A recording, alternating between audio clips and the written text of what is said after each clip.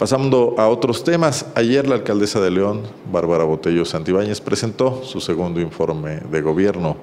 Ahí señaló la funcionaria que su administración ha tomado decisiones valientes con un costo político que se ha asumido a pesar de las críticas.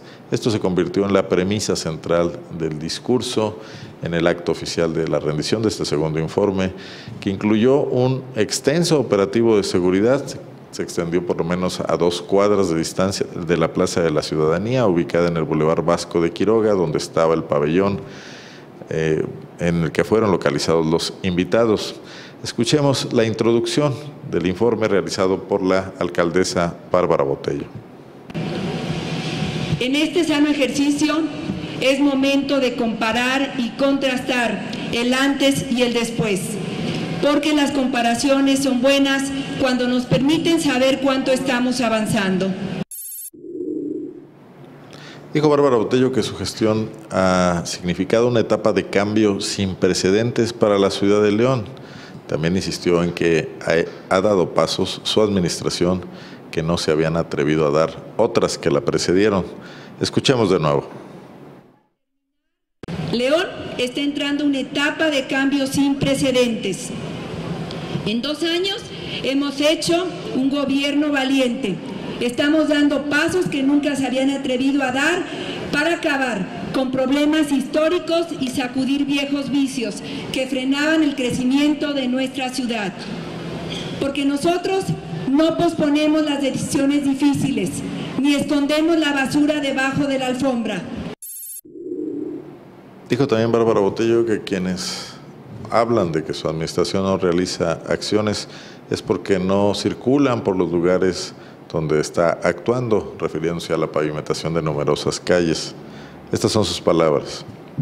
Estoy segura de que se van a sorprender de las cantidades de acciones de gobierno y de las obras que se están construyendo en el norte, en el sur, en el poniente y en el oriente, así como en el centro de la ciudad.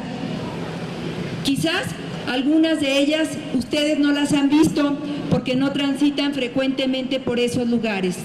Pero aquí conoceremos lo que el gobierno de León está haciendo por todos los leoneses. Un punto que resaltó fue la caída en, competitividad que sufrió la ciudad de León, el municipio en su conjunto, al rezagarse en la atracción de empresas. De acuerdo con la alcaldesa Botello, la ciudad cayó del lugar 33 al 40 en el índice nacional de competitividad, a pesar de ser la quinta ciudad más grande del país. Dijo Bárbara Botello que todo se debió a la ausencia de decisiones, falta de visión y voluntad política la ausencia o la carencia de parques industriales. Vivíamos un círculo perverso donde no se promovía infraestructura.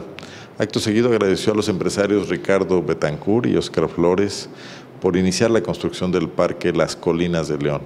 En el presidio, Bárbara Botello fue acompañada por Jorge Cantú, coordinador de delegados de la Secretaría de Economía en representación del Gobierno Federal, Héctor López Santillana, secretario de Desarrollo Económico Sustentable, que, al que ella se refirió como un funcionario que siempre ha creído en la administración leonesa. Él representó al gobernador Miguel Márquez.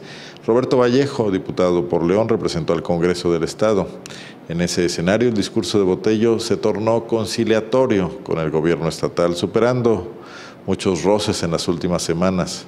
Enarboló las gestiones de obras como el Puente La Herradura y el Parque Lineal La Sardaneta para mostrar que sí hay colaboración con el gobierno de Miguel Márquez. Y esto sí que sorprendió. Escuchemos. Gestionamos ante el gobierno del Estado obras como el Puente La Herradura y el Parque Lineal La Sardaneta. Ambos proyectos muy necesarios, urgentes, que no podían seguir esperando. Por lo cual, nosotros entregamos al Estado los proyectos ejecutivos correspondientes y ahora ya se están realizando. Así que le pido al licenciado Héctor López Santillana que le haga llegar mi reconocimiento al gobernador por haber atendido estas peticiones y apoyar las propuestas del gobierno municipal que beneficiarán a cientos y a miles de leoneses. Un aplauso, por favor, para nuestro gobernador, el licenciado Miguel Márquez Márquez.